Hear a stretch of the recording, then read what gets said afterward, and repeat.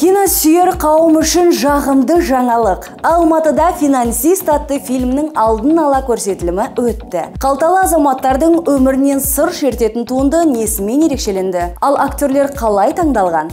Келесі сюжеттен көрейік. Асылхан төлеповке тағы басты рөл бұйырды. Көрерменге мың баламен танылған өнер иесін бұл жолы да жағымды кейіпкерде көре аласыздар. Айта кетейік финансист атты фильм өткен жылдың күз айында түсірілген болатын. Жарты миллион доллар жұмсалған туынды араға бір жыл салып қалың көпшілікке ұсынылды. Ты развиваешься, ты растешь. и понимаешь, что ничего невозможного нет. А как стать вашим инвестором? Давайте я сэкономлю ваше время. фильмнің режиссері елена лисасина ал продюсері ерболат байғанин мен анара жүнісова басты рөлдердің бірін асылхан төлепов чингиз капин карина жумалиева алдабек шалбаев бақытжан әлпейісов ерболат байғанин мен екатерина григоренко сомдап шыққан осы туындыдан соң кино әлеміне жол ашылып жаңа жобаларға шақырту алып актрисалардың бағы жанған Я начинающая актриса, скажем так.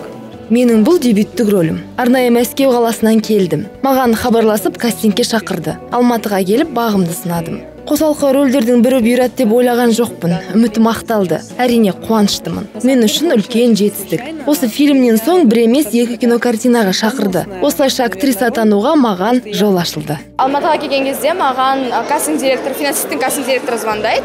Айтады сондай сондай проект келе аласыз ба деп. Мен келдім екі этап өттім.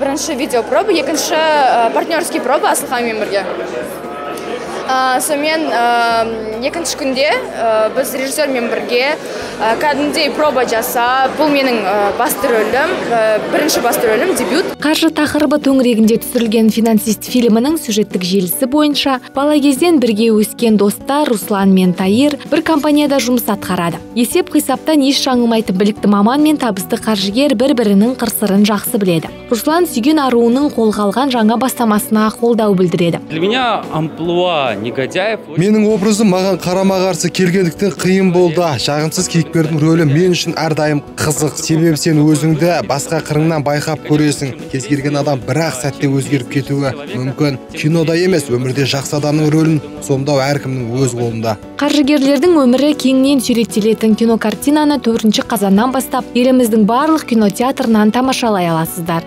Ұлжан айнақұлова бекболат әлімқұлов хедлайнер